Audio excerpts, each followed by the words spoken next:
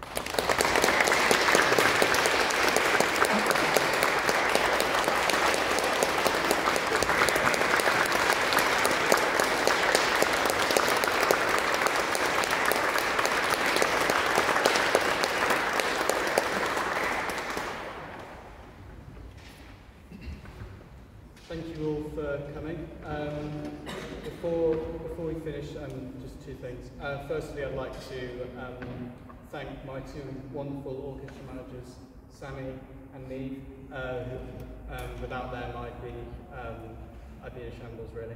Um, I have something for you.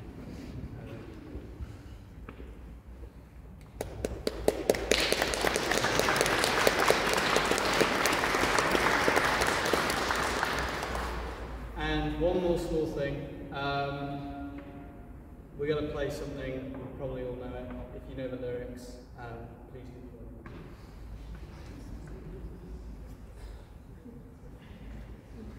Three verses on